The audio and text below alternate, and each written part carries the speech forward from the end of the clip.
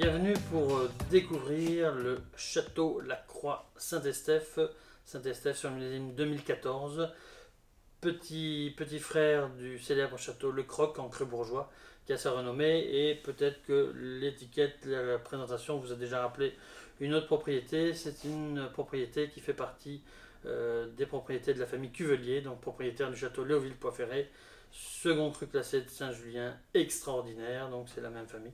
C'est pour ça qu'il y a un air de famille au niveau de la présentation. Le vin maintenant, au niveau de l'assemblage, on est sur un assemblage classique euh, du Médoc. Au niveau de la robe, on est sur une robe soutenue avec un rouge un peu incarnat, une viscosité moyenne. Jusque là, c'est Bordeaux, tout va bien.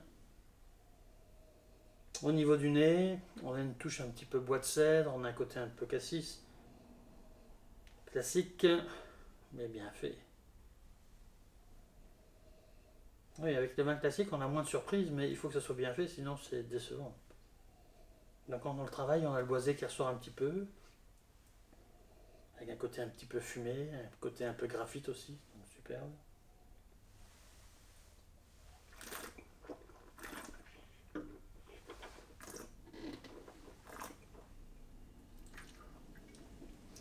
Très bien.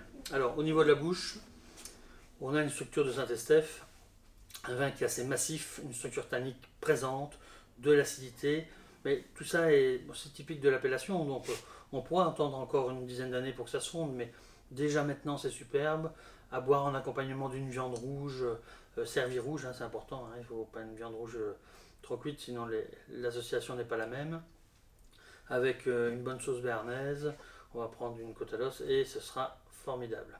Voilà donc un tout beau Saint-Estèphe à découvrir si vous ne connaissez pas l'appellation et vous dire que là vous avez vraiment un beau représentant de l'appellation Saint-Estèphe typé comme il se doit, donc une toute belle bouteille.